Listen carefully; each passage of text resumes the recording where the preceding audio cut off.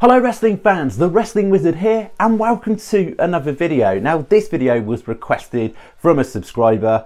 Um, if you request, I listen and I'm certainly going to put videos out there that you want to see. And this was in regards to this week's episode of SmackDown because if you didn't already know, during this week's episode of SmackDown, specifically during a commercial break, yet again some dodgy shenanigans were going on.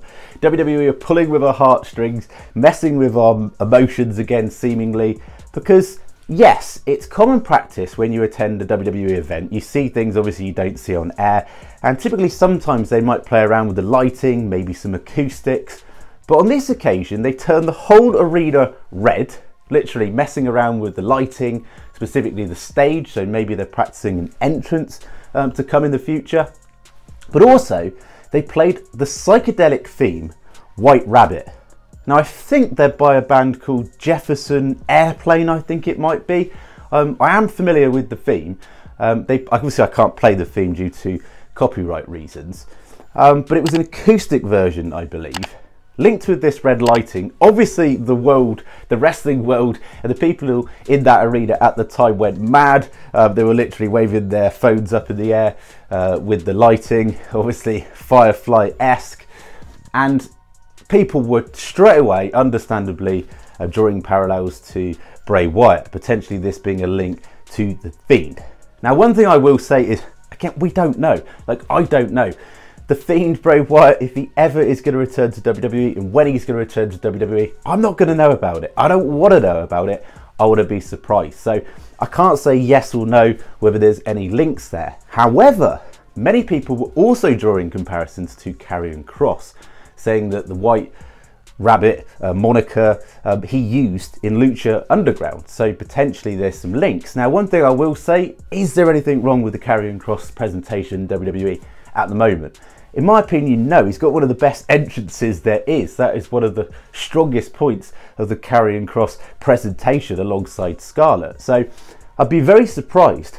However, thinking about it outside the box a bit, what if they're teasing a potential team up between Karrion Kross and a returning Bray Wyatt or The Fiend. Now we know how much Karrion Kross wants to work with Bray Wyatt. He's made that quite public. Just imagine Kross and The Fiend. And if we take this, I know this is reaching massively, but if we take this all the way back to the Edge cryptic promos, we saw, of course, the Hourglass TikTok within those cryptic videos.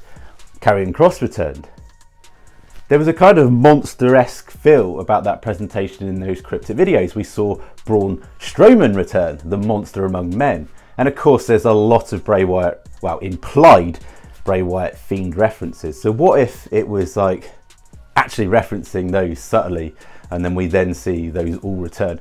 Imagine chucking Edge into the mix. I don't think he would mix with The Fiend, to be honest with you, in all honesty. Um, however, Karrion Kross and The Fiend um, we know Kross is going after McIntyre. He's hinted Roman Reigns. Who needs to get revenge on Roman Reigns at some point? Of course, The Fiend. And also, if you go all the way back to September the 2nd, the SmackDown, the tape version of SmackDown before Clash at the Castle, I can't believe I missed this. And again, I can't quite put the correct scene up, but there's a there's a moment when, well, we know it's JBL. JBL pulls up in a limo and then takes in Happy Corbin and then seemingly we're going to see some form of management down the line from JBL um, as like a, a, leader to Baron Corbin down the line, which I love because remember Baron Corbin was the last person to beat Roman Reigns, so hopefully they could uh, heat Corbin back up. In the background, and again this is probably the biggest reach in the world, you can see the uh, production truck. And in the background, and WWE, like, why would they have someone walk out at that specific point?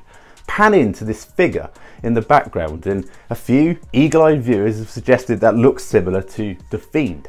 Like the jacket, the presentation, the way he stood. Go check that out. Again, I can't put up the full scene. So go to September the 2nd, that Baron Corbin JBL interaction. And just as JBL JBL's pulling away, someone comes out of the production truck. And it kind of looks like the Fiend with the jacket, the long jacket. Uh, again, probably massively reaching, but I just thought it was something worth mentioning because people are talking about it. Um, but the one thing that's great about all of this is literally at any point, Bray Wyatt, the Fiend, could return. And I do believe WWE are swerving us a little bit at the moment by saying apparently his, you know, his contract demands were, were very high in terms of uh, monetary offering. Um, but hey, it's gonna be, isn't it? When you're one of the, well, literally the former biggest merchandise mover, you're gonna demand a high salary.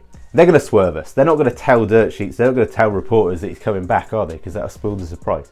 Anyway, Thank you so much for watching this video. As always, be really appreciative if you could like the video and even better, subscribe if you're new. Um, feel free to message me, head to the about section, email me if you've got any ideas for videos or if you hear any interesting updates or you pick up things that maybe we missed on the channel.